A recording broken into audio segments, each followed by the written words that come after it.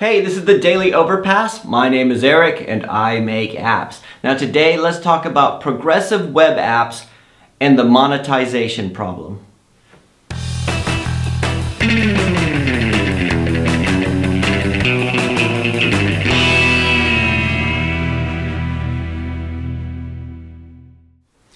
Okay, so I nearly didn't get to the video today. It's been a hectic day. I've been running around all day. It's like 10 o'clock at night. As you can see, it's already dark outside, right? But I've been thinking about this question that came in like all day long, trying to think how, how to answer it because uh, because I'm not an expert in this field. And I'd like to get your guys' opinion on this too. Right, so on episode 358, there was a really good comment that came in from Jay Matthew who said, Hello Eric, I love your videos and thanks for making them. Thanks, Jay. I really appreciate you watching them. I too have a small business, but in the States, and would really like your thoughts on a question of mine. As announced at Google I.O., I believe all web browsers now support PWAs. I have been a native app developer in my past career for years, but now thinking of just learning making PWAs as I don't have a lot of resources to handle native apps and a website. Should I go only PWA slash website or have native apps also? I would like your thoughts on the matter. Thanks, Jay Matthew. So for me, this is something I think about too, especially with all the problems that we have with the App Store and it just seems like app stores are getting more difficult going forward.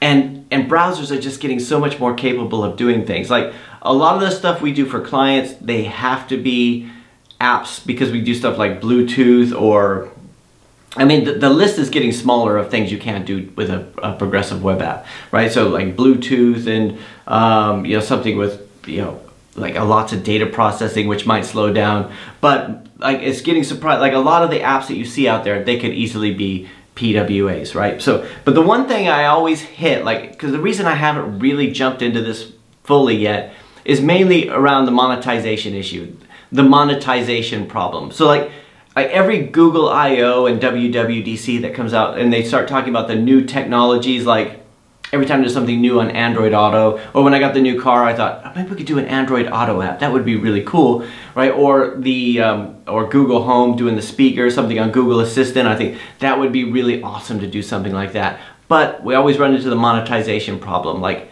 how do I make money with that? I mean is it, it would be kind of cool as a developer like as a as a developer skill to say, yeah, I could do stuff on that, but I don't understand how to make how to make money from it. I mean, I could if it was like if it was something for clients. So like if it was a pizza chain and they wanted to have a, a an assistant app, a, a, Google Assistant app where you could say I want to order a pizza, that would make sense. But you know, I don't have a pizza chain, right? And ads don't really seem to work there, and I'm not sure how in-app purchases work. So it's always this. That's the reason I don't jump fully into that and I'm kind of a kind of late to join that kind of thing too because I don't want to waste a lot of time without doing that. Now progressive web apps that's not necessarily the case because there are monetization options in progressive web apps. You have ads obviously and you do have other payment options. You have Stripe and PayPal and things like that but you don't have that simplicity of the in-app purchase or just making the purchase of the app. I mean one of the things I was really I found captivating about the the mobile phone market was that I didn't have to ask people to get their credit card and enter those details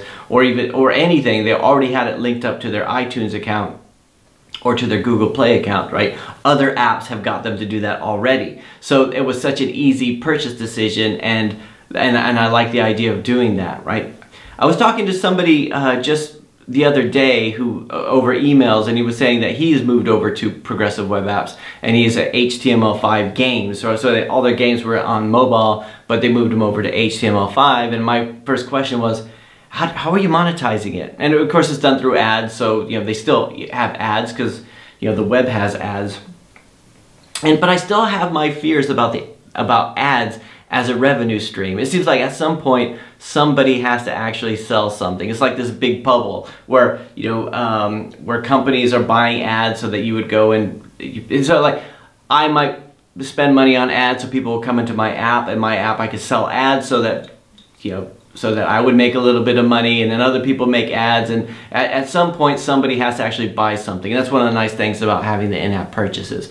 But I could be completely wrong about this. I, am really intrigued by progressive web apps. I, I have a little bit of fear that, I guess the fears that I have is first that I won't be able to monetize it properly, like you know, once people have to get that put in their Stripe account or their PayPal details or get their credit card out, maybe they not might not want to do that as, as easily as they would just making a purchase through the App Store. But on the other side, you have the better subscription models. You could probably charge more because the App Store just has this expectation that everything costs 99 cents or you know a couple dollars. So you, that might work out better for you too. Uh, and then the other the other fear that I have is that at the next Google I/O or WWDC, uh, some uh, they'll come up with some new feature that will just be like oh, we all have to do that. Like it'll be something so cool that it'll take like you know three or four years for browsers to catch up with that kind of functionality. So those are the fears that I have, but those might be outdated fears, right? Fear that you never get anywhere by being afraid of anything, and you know, or being the last one to enter a sphere. So I mean, I I'm excited about progressive web apps. I'm also for the client opportunities but even so if it's for the client opportunities i think it's that's exciting right because i think if clients come to us and say you know we don't necessarily need an app but we could need something because this maybe it's a bit too heavy the app stores all that kind of stuff eh, but a progressive web app is something that they could use but if it's something to actually monetize for myself, something to sell something, that's the, it's the monetization problem. I, I keep running into that, right? And so my question to you guys out there, I'm hoping you help Jay with these with this with your thoughts on this matter too, because I am obviously not an expert in this matter, right? So what are your thoughts on it? If you're somebody who's making lots of money from progressive web apps, I would definitely love to hear about it in the comments. Or you know, if you're some, what kind of concerns do you have about it? Or you jumping full on into it? Because it is definitely exciting, right? If we could get around this whole app store stuff, that would just be awesome. But anyway, those are my thoughts for today. Jay, I'm sorry that's not a very good answer, but like I said, those are my thoughts on it. Uh, anyway, that's it for today. I'll talk to you guys again tomorrow.